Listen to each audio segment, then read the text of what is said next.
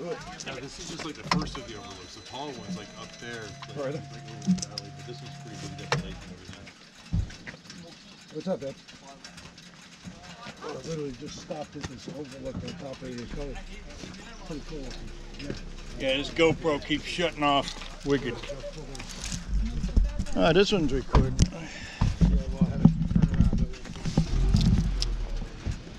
I was like, oh, my light's on. I gotta go back to get gas. So I had to drop back to the house to get gas. Can y'all see that? We are definitely not in Florida anymore, and I'm not going to do a Michaeli 7 and try to stand on that block because, you know, I'd be down there somewhere. You know, I'm gonna come to the house, drop the bike off. Pretty cool. Pretty cool.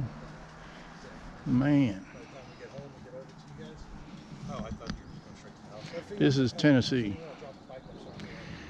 Where's all them moonshine places? Where you at? Yeah, Come on. Yeah, it's good for you. Pretty sweet. I hope y'all can see. Let me see if I can zoom it. I wanted to be home by like Uh, zoom it. Home by like two weeks. which isn't gonna happen. No, that's not happening. It's 1.30.